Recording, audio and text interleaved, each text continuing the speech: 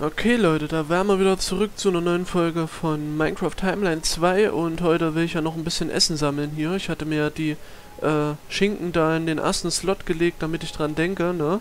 Und ja, ich würde sagen, dann schlachten wir mal hier die Schweine, wenn wir ja schon mal welche haben, ne? Und ja, ich finde irgendwie die Umgebung hier ganz interessant, muss ich auch sagen. Also ja, finde ich schon ganz cool, was hier so alles äh, vorliegt, so. Oh Mann, Alter, wie kann man nur so schlecht treffen? Alter, ich bin auch in Shootern so schlecht. Wie kann man nur so schlecht treffen wie ich jetzt, ey? Das gibt's gar nicht. So, ähm, okay. Dann weg damit. Zack. Da auch weg. Genau, da haben wir ein bisschen Zuckerrohr.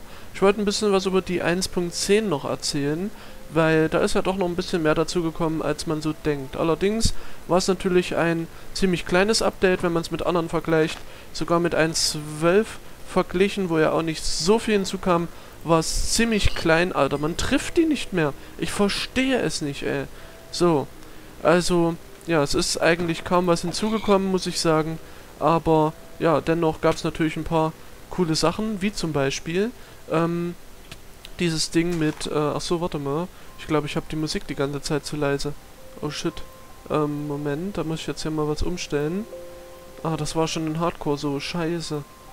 Ah nee, da ist in Hardcore die Musik viel zu leise. Oder ich mach dort halt mal das, äh... Nee, warte mal, da waren doch die Sounds auch leiser, oder? Nee, ich weiß es nicht mehr. Ja, keine Ahnung, wie ich das dann dort einstelle im Schnitt, muss ich mal schauen. Ähm, ja, weiß ich jetzt noch nicht. So, auf jeden Fall kann ich nicht mehr sprinten, was auf jeden Fall blöd ist. Vielleicht mache ich mir gleich mal einen Ofen. Oder ich muss halt das rohe Fleisch essen. Wir haben ja eh noch ein paar mehr Schweine, ne? Vielleicht, äh, ja, esse ich dann einfach das rohe.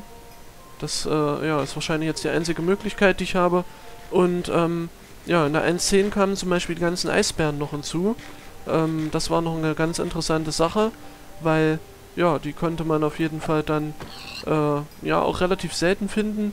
Sind jetzt nicht so oft, ne? Und, ja, da hatte man auch mal wieder eine Neuerung und ich hätte nicht gedacht, dass man sowas in Minecraft noch hinzufügt. Also, keine Ahnung, damit habe ich einfach nicht gerechnet mit solchen Mobs, ne? Ähm, ja, es gibt so Mobs, da denkt man, okay, die könnten vielleicht mal irgendwann kommen. Also mit Eisbären, ich weiß nicht, das hätte ich nicht vermutet. Aber ja, gibt's auf jeden Fall jetzt. Und dann gab es natürlich auch noch diese Knochenformation in der Wüste. Das war auch noch eine interessante Sache, aber ich weiß nicht, das ist so eine Sache, da denkt heutzutage eigentlich keiner mehr dran. Äh, die ist so in Vergessenheit geraten schon wieder, dieses Feature. Und, ähm, ja, ich weiß auch nicht. Ich finde das irgendwie nicht mehr so krass, sag ich mal, ne? Da äh, gibt es auf jeden Fall deutlich andere äh, Sachen, die einem besser in Erinnerung bleiben. Wie zum Beispiel die großen, fetten Mansions, ne? Die sind natürlich dann schon wieder eine ganz andere Sache. Ja, also kleine Sachen vergisst man öfter mal, dass es die überhaupt gibt. Und ja, dann gibt es ja noch die Wüstenzombies und die äh, Eisskelette äh, da quasi im äh, in Schneebiom und in Wüstenbiom. Finde ich auf jeden Fall ganz cool, dass sie dann die Biome auch mal belebt haben, aber auf der anderen Seite sind die Mobs natürlich auch ziemlich nervig, ne? Muss ich ja sagen. Und ja, dann wurde quasi das Update der 1.10 äh, oder der 1.9 noch so ein bisschen erweitert, weil in der 1.10 kamen erst so ein paar Sachen hinzu, die dann äh, den Items der 1.9 Sinn verliehen haben. Wie zum Beispiel die äh, Force, äh, diese, also diese Strays heißen die, genau. Ähm, die haben ja dann die komischen neuen Pfeile da verschossen, die in der 1.9 hinzugefügt wurden. Da wurden die dann quasi auch mal anders eingesetzt, ne? Und, ähm, ja, das ist dann auf jeden Fall was Besonderes gewesen. Und ansonsten, ähm, ich guck nochmal, was kam noch so hinzu. Ähm, ja, Eiswanderer heißen die tatsächlich auf Deutsch. Fossilien, okay, so heißen die auf Deutsch dann mit den Knochen. Ähm, ja, dann gibt es irgendwas in Minen. Ach ja, genau, in äh, Mesabiom gibt es jetzt Minen an der Oberfläche. Und äh, ja, dann können Riesenpilze manchmal doppelt so hoch wachsen. Ja, es sind natürlich auch ziemlich kleine Features und kleine Änderungen. Oder hier große Eichen gibt es jetzt auch in der Ebene als einzelne Bäume. Ähm, also in der Steppe oder wie auch immer man es nennen will. Plains-Biom halt. Ähm, ja, äh, das sind halt alles so Mini-Sachen, die jetzt nicht so krass erwähnenswert sind, sag ich mal, ne? Aber die eben doch irgendwo dazugehören, muss man ja sagen. Und, ähm, ja, was gibt's noch? Ähm, Dörfer, okay, Blöcke, Hm, was wurde denn davon geändert? Ah, die passen sich jetzt zu den Biomen an, okay. Ja, halt alles solche Schönheitssachen, äh, ne? So kleine Sachen halt, ich weiß auch nicht.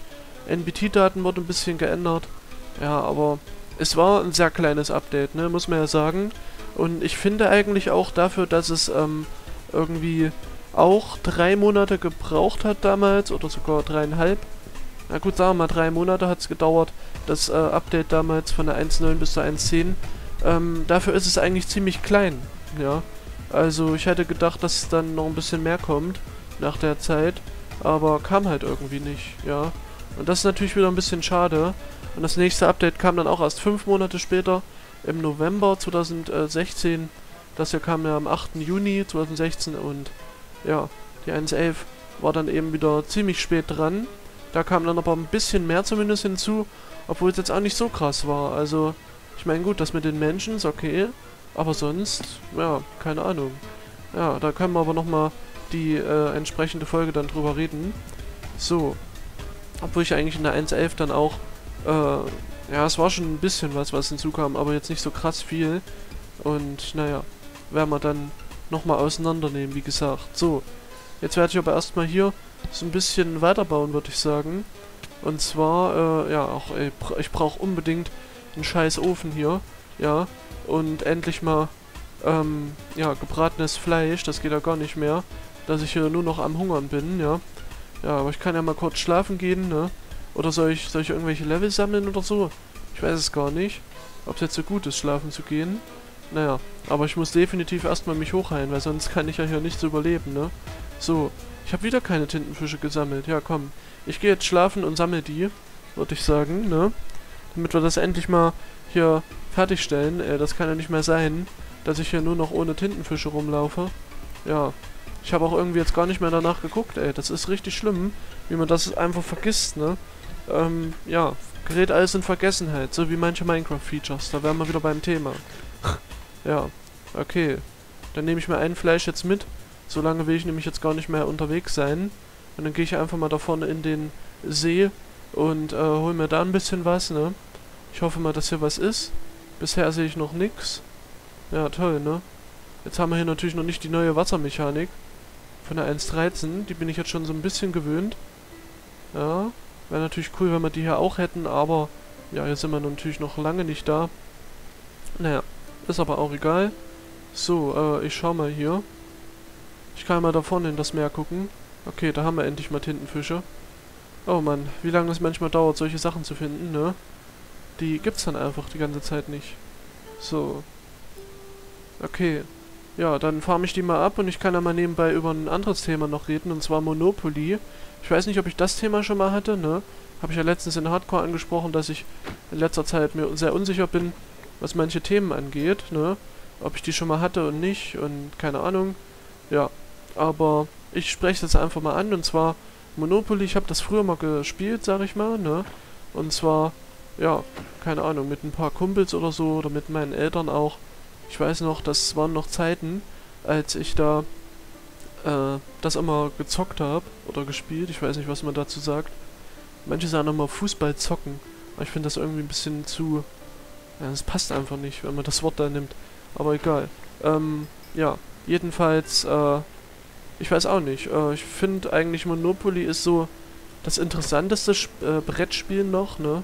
Es gibt da auf jeden Fall diese klassischen wie Mühle und Dame und solche komischen, die ich gar nicht, wo ich nie die Regeln kannte, ne? Ähm, wie das mit diesen Dreiecken, äh, wo quasi hier so ganz viele Dreiecke aneinander sind und auf der anderen Seite nochmal und ja, das ist immer ein bisschen verwirrend gewesen. Da wusste ich immer nie, was, was soll das sein. Naja. Und dann natürlich, Mensch, ärgert dich nicht und sowas, ne?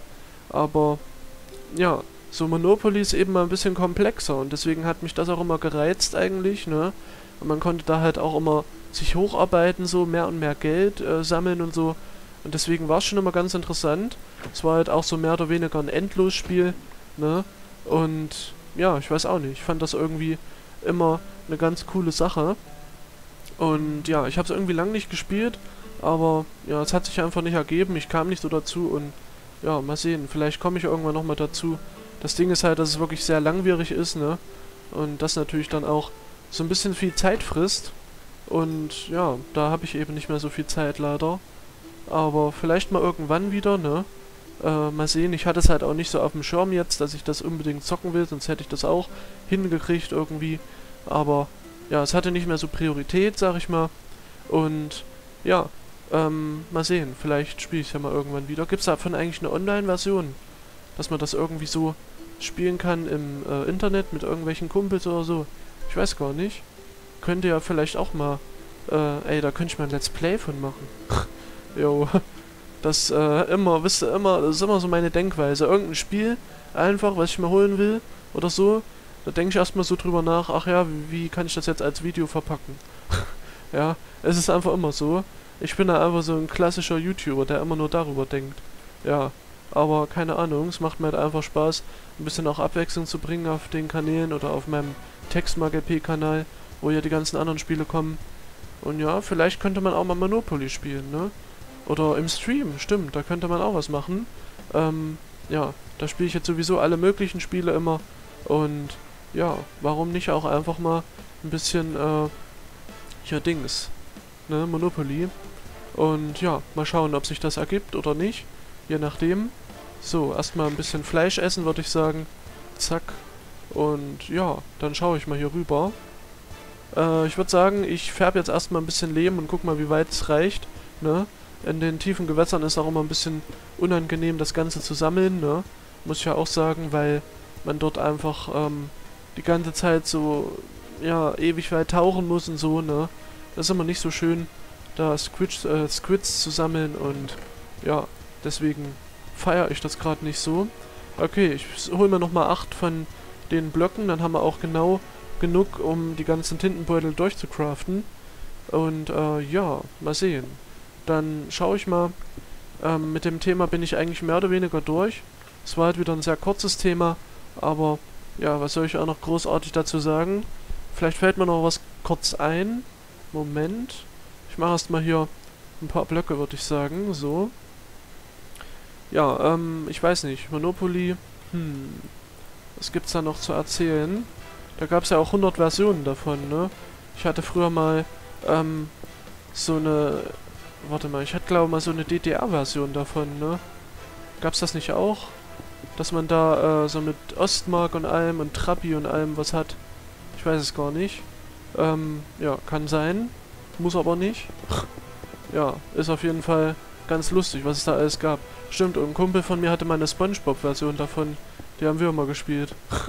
ja, keine Ahnung. Da hatten wir gar kein normales Monopoly, sondern die ganze Zeit nur die Spongebob-Version.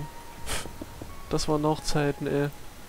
Und ich glaube aber, ja stimmt, in den Versionen, in den verschiedenen, da gab es dann nämlich auch so unterschiedliches Geld, also eine unterschiedliche Menge. In manchen Versionen gab es dann so richtig viel Geld, weißt du, da hat dann äh, das alles so richtig viel gekostet äh, und so. Und in anderen Versionen hat es dann einfach ähm, so richtig wenig nur gekostet. Also gab es schon große Unterschiede. Und ja, keine Ahnung. Und stimmt, ich hatte mir dann auch nochmal ein neues Spiel irgendwie gekauft oder zugelegt. Oder, ja, meine Familie halt, ne? Ähm, aber ich weiß gar nicht mehr, wie das, äh, dann war. Ähm, ja, da, da müsste ich mich auch mal zurück, äh, oder müsste ich mir auch mal wieder angucken. Weil, äh, ja, wir hatten irgendwie mehrere Spiele. Wir hatten so ein uraltes aus den 90ern oder so, mit Westmark noch und so, also D-Mark. Und, ähm, ja, dann gab es noch so ein neueres irgendwie, aber ich weiß gar nicht mehr, hatte das irgendein bestimmtes Thema oder einfach war das normal? Das weiß ich gar nicht. Ähm, es gab ja da wirklich die verschiedensten Themen, ne? Wie schon gesagt, also, ja, da gab es irgendwie dann alles am Ende. Aber, ich weiß gar nicht, ist das überhaupt noch so beliebt, Monopoly heutzutage? Ich weiß noch, damals war das noch so ein Ding, ne? Irgendwie. So vor, äh, keine Ahnung, fünf, sechs Jahren, ja. Was weiß ich, oder sieben Jahren. Ähm, aber mittlerweile ist das einfach jetzt auch nicht mehr so äh, beliebt. Also man hört nicht mehr so viel davon. Und ja, keine Ahnung, ist irgendwie ein bisschen schade. Weil das Spiel hat mehr Ruhm verdient. Würde ich mal sagen. So. Okay, dann dahin. Und, ah, Moment. Das kann weg. Erstmal bisschen Kohle her. Und dann würde ich sagen, mache ich mal hier äh, noch einen Stack rein oder so. Ach, habe ich gar nicht mehr.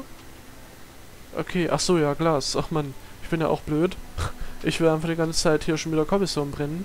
Naja, aber das äh, brauchen wir ja nicht so. Gut, ähm, ja, dann bin ich mal gespannt, wann wir umziehen. Ob ich jetzt die nächste Folge mal losgehe und irgendwie umziehe oder so. Ich weiß nicht, ich werde wahrscheinlich mal den Locate-Befehl benutzen. Aber wahrscheinlich erst übernächste Folge und mal zur Menschen gehen, ne? Jetzt würde ich sagen, es das halt erstmal gewesen von diesem Mal, ne? Also haut rein und wir sehen uns dann beim nächsten Mal wieder. Ja, mal sehen, was wir dann machen. Jetzt erstmal Tschüss und bis dahin.